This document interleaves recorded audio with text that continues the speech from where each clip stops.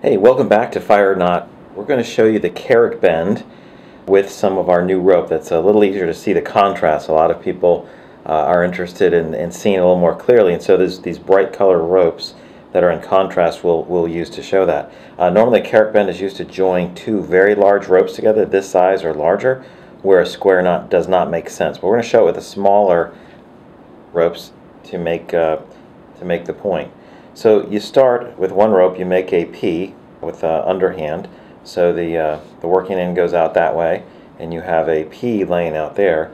The other rope comes across, then you lay it, you pull it behind the loose end, over, you weave it under,